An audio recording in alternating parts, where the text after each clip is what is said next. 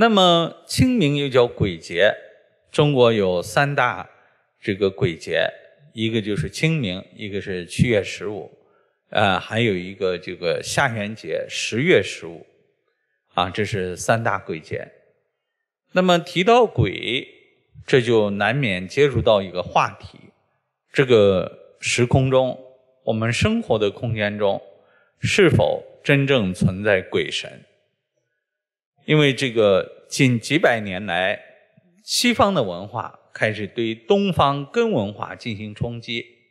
我们提到鬼神的时候，大家都以封建迷信这个词汇来对它进行宣示。实际上，真正迷信的是什么人呢？我们如果从科学家对今天时空的描述，我们会发现。我们被欺骗了近一百年。那么，科学家怎么描述我们生存的空间呢？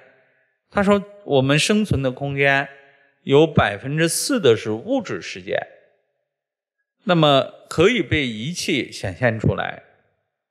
那么还有一个百分之九十六的时间空间里面存在着真实的存在物，里面充满着物暗物质。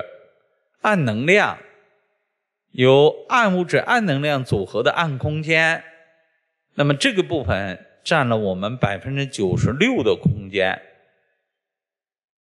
也就是说，我们生活的时间和空间同步的存在着一种是仪器可测的物质世界，还有一个仪器不可测的暗物质世界。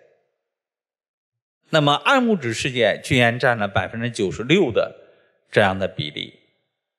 那科学家也同时提醒我们，我们的人体啊，在我们说话的当下，呃，有成吨的，甚至是更啊量数更多的暗物质穿越我们的人体，穿越这个房间，穿越这个大楼，因为不可测，所以说我们不能够去测量。这一秒钟穿过了多少？有多少暗物质、暗能量？这个作用我们人体啊，更不要说我们去使用这个暗物质、使用这个暗能量。那么在今天的台湾，呃，还有这样的状况：有的人突然呃走在马路上，感觉被个影子撞了，然后自己马上就不舒服了。那这个呢？他们叫卡音。什么叫卡音？就是有肮脏的东西穿过你人体的时候，不小心卡住了，卡住了形成一种因果，然后这个人就不舒服了，头晕了，然后魂不附体啦，啊，他就需要找功夫师去帮他清理这个音，把这个卡住的音从体内请出去，然后呢，哎。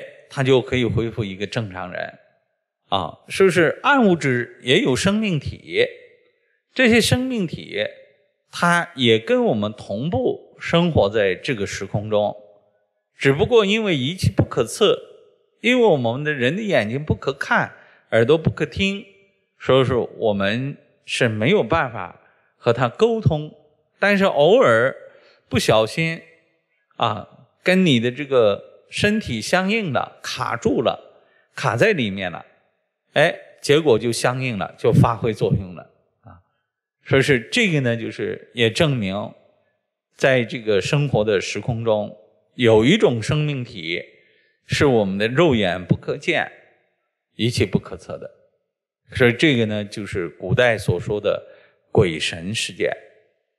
那么今天的百分之九十六的。客观存在的暗物质、暗能量组合的暗空间，是否可以等同于鬼神空间、鬼神世界？这个我们还在继续的研讨，继续的进行科学实验。但是如果想借助百分之四的科学这些实验工具、这些物质工具，去研究百分之九十六的暗物质、暗能量。这样的一个世界里的客观存在，这就是用错了方法。那么，在我们人类历史上，是否有一群人不使用、不借助这些物质界的这些工具，而使用了另外的方法，对这百分之九十六的鬼神事件进行研究呢？答案是可以肯定的。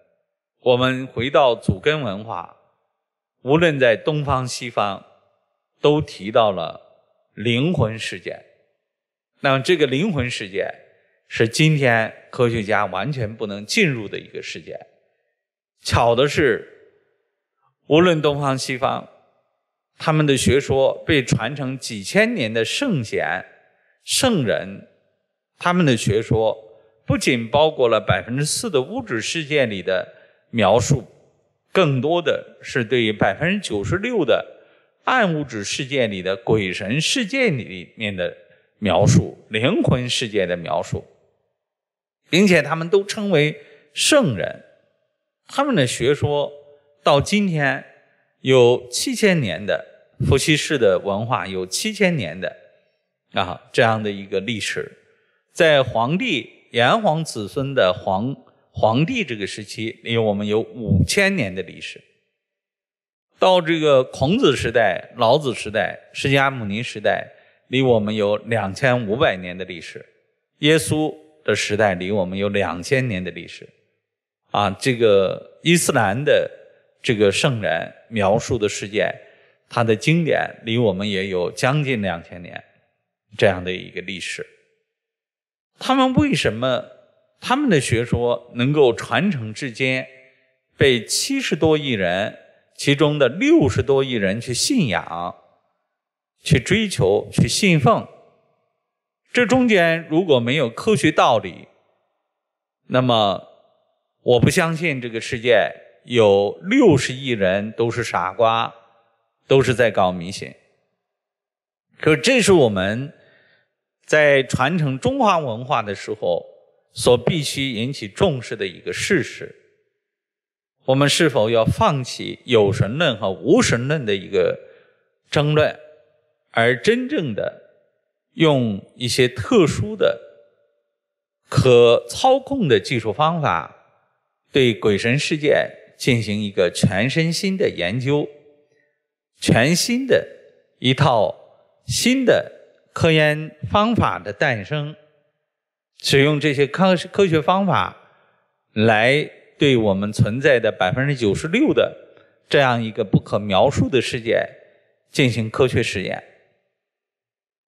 说是这是借着清明节，给在座的各位提出的一个反思话题。我们是不是自以为是的，以为我们相信的无神论、没有鬼神，就是一些一种正确的信仰？